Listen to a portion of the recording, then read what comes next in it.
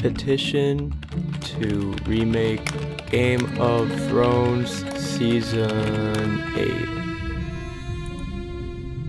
8. Okay, here we go. Andrew Gagnon. Thank God this is actually a thing because, bro, I don't even want to talk about that season. Let's do it again. Alright. going on, bro? Yeah, the sign.